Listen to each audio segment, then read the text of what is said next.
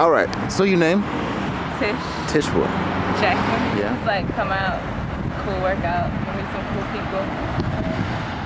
To get big biceps. yes. Yes. Yes. I think it'll be hell.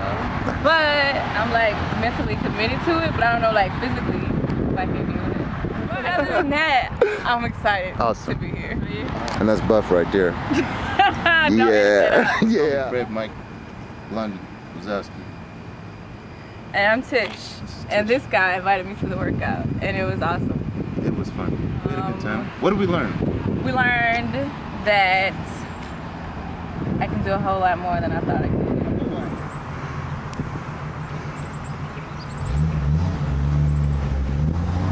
I did like three pull-ups, and I started saying I could do.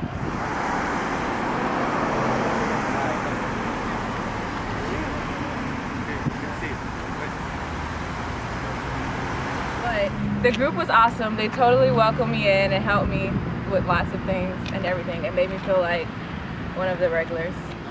Everybody. Buff? Buff, Hey. two shouts out for Buff. Buff was out there, man. He man. loves Saturdays, so come out on Saturdays.